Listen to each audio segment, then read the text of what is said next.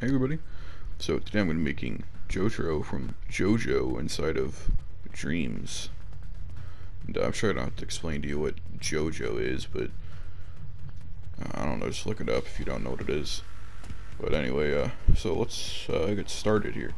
So first I went ahead and remixed my Jotaro model, and I made a floor. That's cool, I guess.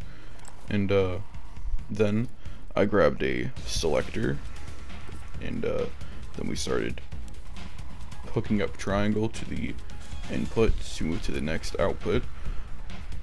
And yeah, that's kind of that.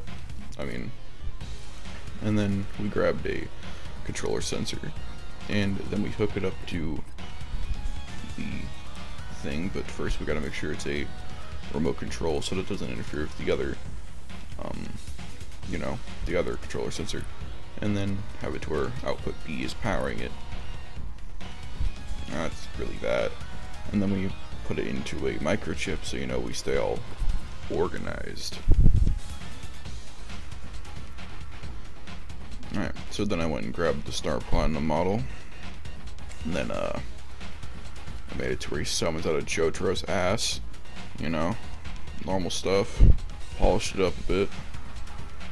And uh and then we started making a run animation.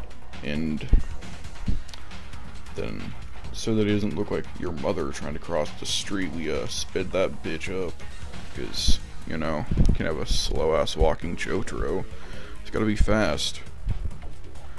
You know, gotta do stuff, test that out, make sure it looked nice. Then give Star Platinum a really poor punch. Then we went on and made a whatever this is, it's supposed to be a fist, but you know, it don't look like it. We all know that. And then uh, they ended up in the wrong area, sadly. So had to go fix that, and then after that, sounded like he, uh, you know, had a gun. But you know, who cares? And uh,